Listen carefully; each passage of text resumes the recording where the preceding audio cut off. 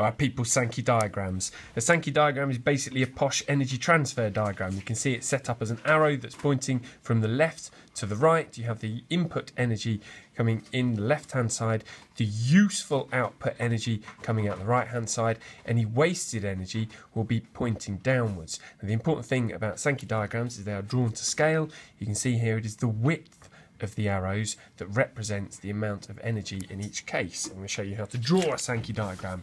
We'll draw a Sankey diagram for an energy saver light bulb where 60% of the energy is transferred into useful light, 40% of the energy is wasted as heat. I've chosen uh, my scale.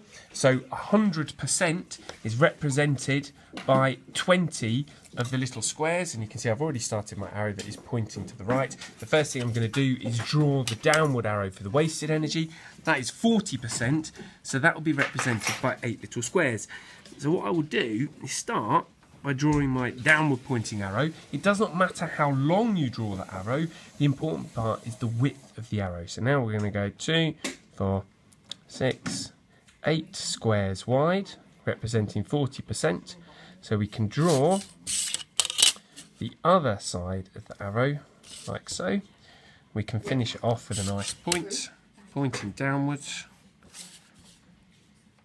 So our downward pointing wasted energy arrow represents 40%, and that is the heat energy. I'll say it again, it is the width of the arrow that is representing that 40%. All right, the useful energy is 60% light, so that means the arrow that is pointing that direction is going to have to be 12 little squares wide according to our scale. So this is this is the bit where most people go wrong actually. Well, instead of drawing this way for the arrow, we've got to take our wasted energy arrow all the way up until we get to the 12th little square. So if I just add that on now, and then what I can do is draw the top part of our useful energy arrow. Again, it doesn't matter how long, it's the width that counts. Then I can draw the bottom part, like so.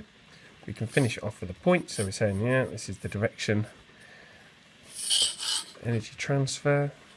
So we're going from electrical energy to light energy, and it is the width of the arrow that represents 60% of the energy drawn to scale because it's 12 little squares based on our original scale of 20 little squares for 100%.